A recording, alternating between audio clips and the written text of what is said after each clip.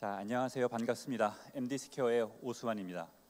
저는 전자공학과를 졸업한 엔지니어 출신의 치과 의사이고요. 현재 서울에서 교정 전문 치과를 12년째 개업하고 있는 현직 의사입니다. 그런 제가 여러분들께 오늘 이 시간 인센티브를 받을 수 있는 블록체인 기반의 원격 의료 플랫폼에 대해서 설명을 드리고자 합니다. 제가 설명을 드리기에 앞서 현재 있는 시장의 문제점에 대해서 여러분들에게 말씀을 드리고자 합니다.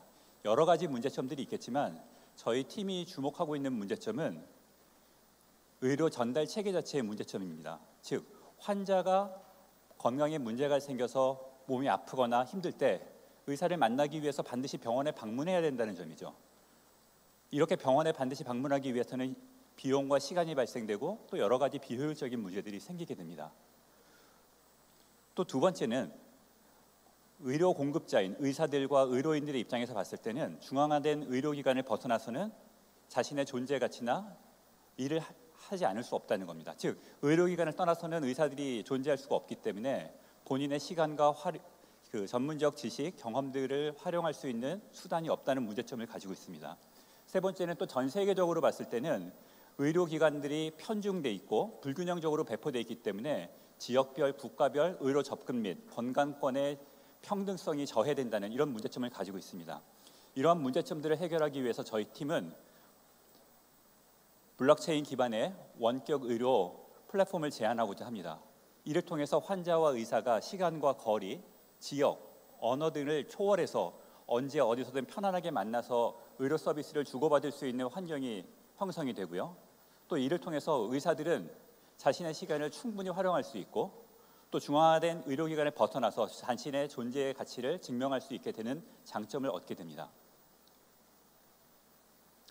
저희 플랫폼에는 단순히 환자와 의사만 참여하는 것은 아니고 약사, 간호사, 영양사, 정신심리 상담사, 그리고 또 통역사, 그 다음에 원격 어, 건강 평가를 하기 위한 건강 측정기기 개발자, 그리고 또한 AI medical 챗봇 등이 다양한 개체들이 저희 플랫폼에 참여를 하게 됩니다. 이러한 플랫폼을 참여하면서 각 개체들 간의 정당한 보상을 위해서 저희 팀은 티메드라고 하는 토큰을 도입을 할 예정이고요. 이 티메드라고 하는 토큰은 MDP라고 하는 플랫폼 내에서 사용되는 포인트와 서로 전환이 되면서 이를 통해서 각 개체들은 자신의 정당한 활동과 거래에 따라서 경제적 보상과 이득을 얻게 됩니다.